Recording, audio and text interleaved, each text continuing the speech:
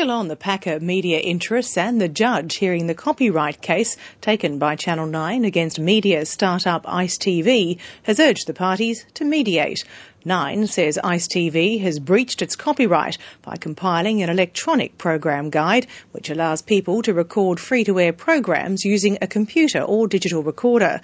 As Sue Lannon reports, Ice says it puts its guide together using publicly available information. It's a battle about who owns the rights to the TV guide. The Nine Network has taken Ice TV to court, accusing it of breaching copyright by including information about Nine programs in its electronic program guide, which subscribers can download.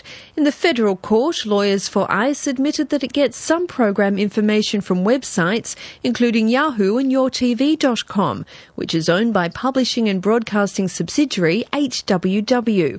But ICE says once it gets to HWW, Nine's TV guide is changed because it's incorporated into a TV guide for all stations and is not copied word for word and therefore not covered by copyright law.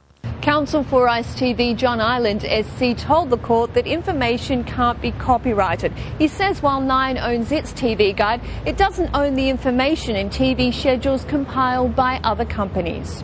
Mr. Ireland told the court that ICE wrote its own program descriptions by using the internet, books, and other publicly available information. Our starting point is not the Channel 9 weekly program schedule. Counsel for Nine, Richard Cobden SC, says the use of websites that Nine licenses its material to is a breach of copyright. He accused ICE of using Nine websites and magazines to make last minute changes to its program guide, saying in a six week study of 1,068 programs earlier this year, ICE got 1,066 correct.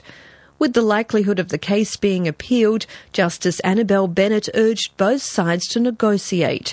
She says Channel 9 has already licensed its program information to pay TV operator Foxtel and could consider a negotiated outcome with ICE. Sue Lannon with that story.